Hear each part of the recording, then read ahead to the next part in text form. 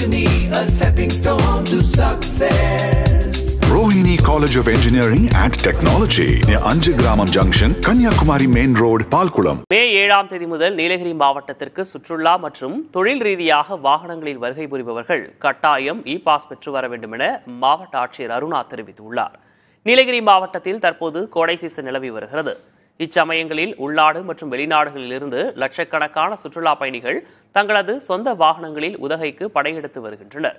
இதனால் அங்கு கடும் போக்குவரத்து நெரிசல் ஏற்பட்டு வருவதால் அதனை தடுக்கும் வகையில் மே ஏழாம் தேதி முதல் ஜூன் முப்பத்தி ஓராம் தேதி வரை இ பாஸ் பெற்று நீலகிரிக்கு செல்ல வேண்டும் என சென்னை உயர்நீதிமன்றம் உத்தரவிட்டுள்ளது.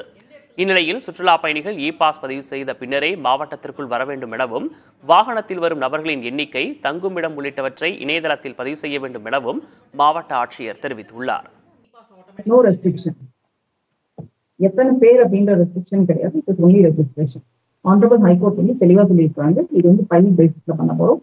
அண்ட் வந்து it is no restriction on the number of tourist but it's only registration அரசு பேருந்துல வர பயணிகள் நார்மலா வரலாம்.